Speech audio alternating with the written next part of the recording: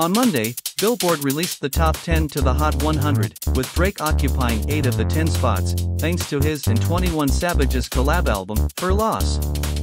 Fans would have thought that Drake, 36, and Savage, 30, nearly pulled off the clean sweep if you looked at Champagne Papi's Instagram story.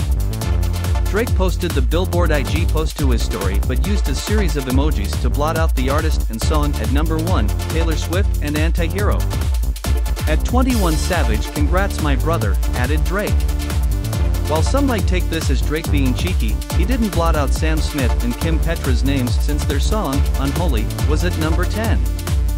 Plus, fans claimed that Drake apparently stopped following Taylor, while others claimed he was still following her on IG. Drake being petty towards Taylor because she blocked him on the charts, like BFFR it was your decision to release your album right after hers, tweeted one fan.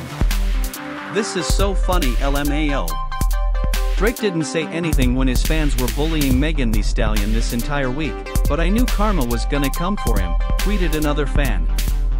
I'm happy people can see how much of a loser this man is and that Taylor was the one humiliating that ego.